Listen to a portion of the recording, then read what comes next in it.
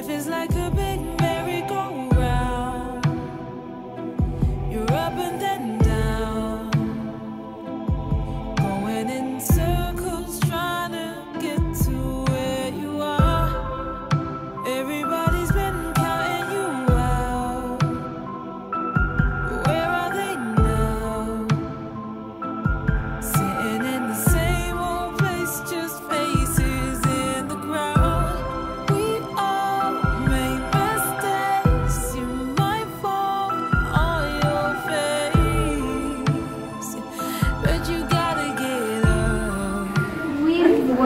lot. We've worked for months for this, and we're really excited.